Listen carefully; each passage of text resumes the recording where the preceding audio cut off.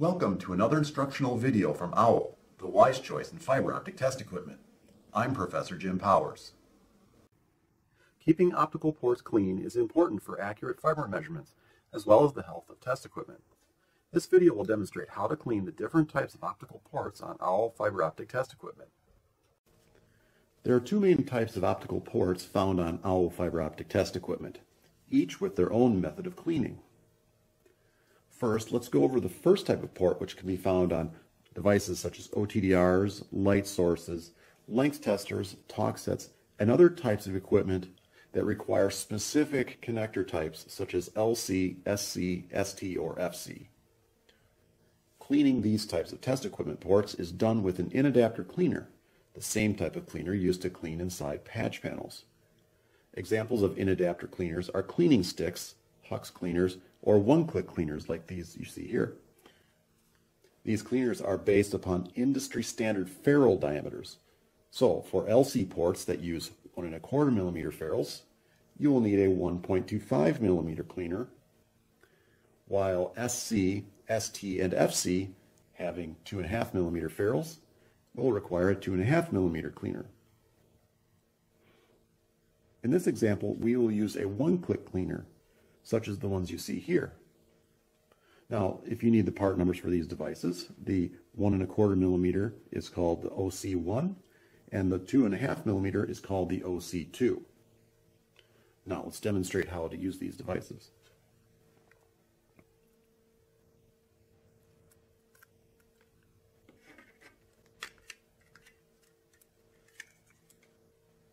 Simply insert into the OTDR port, and sometimes just give it a couple clicks.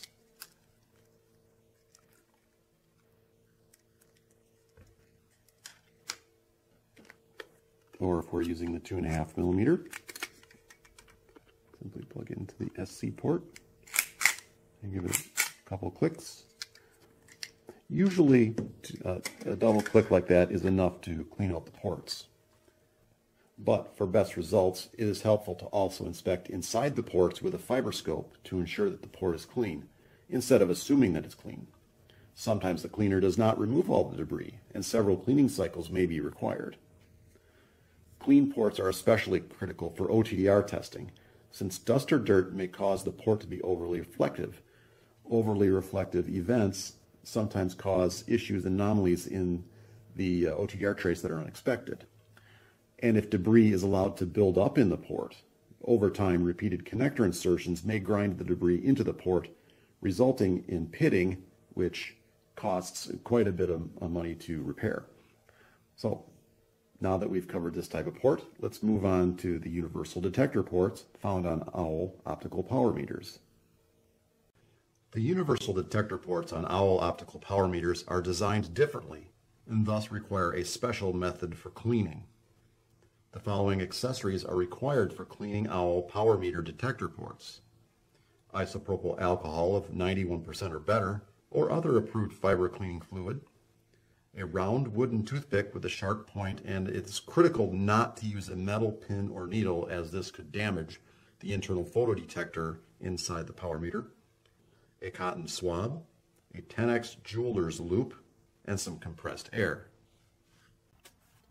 Okay, first remove the universal adapter from the power meter detector port and then use a jeweler's loupe to inspect the detector end face.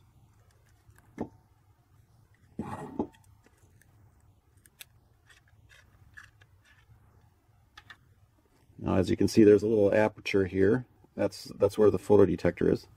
So you'll use the jeweler's loupe as such, and you'll kind of position it so that you can see inside the port there.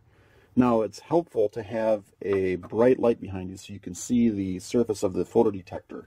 Uh, the light can shine off of there, and you can, you can see if there's any dust or debris on the surface of the detector.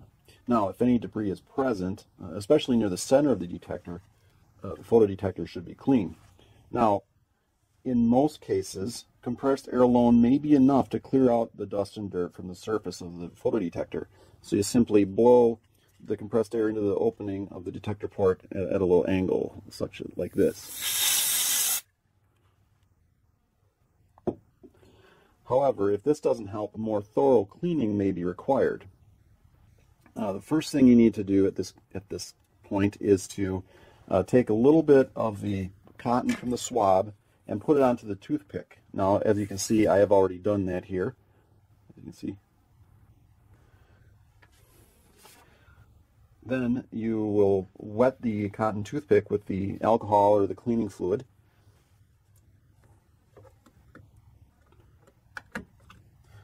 So basically just we're getting this wet here. Okay.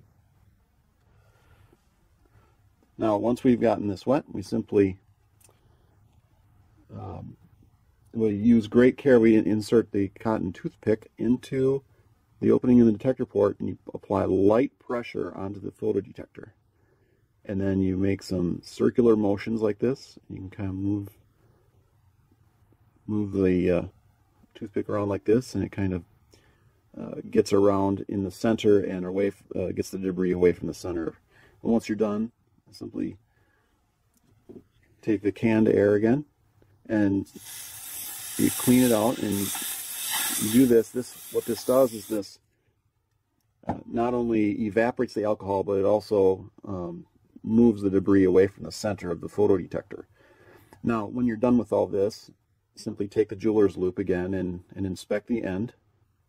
And if it's clean, you're fine. Then re then replace the the cap. However, um, if this did not work, you, you uh, several of these cleaning cycles may be required.